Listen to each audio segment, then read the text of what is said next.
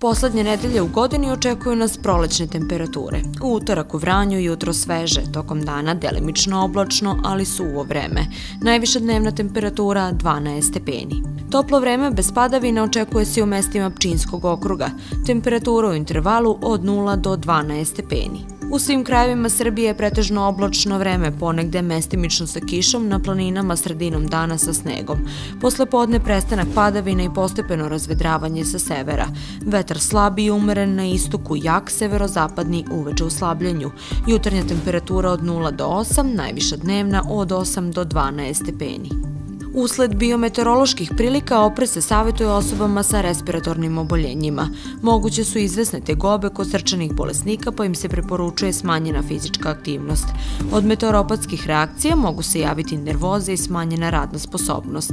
Svim učesnicima u saobraćaju se preporučuje dodatni oprez.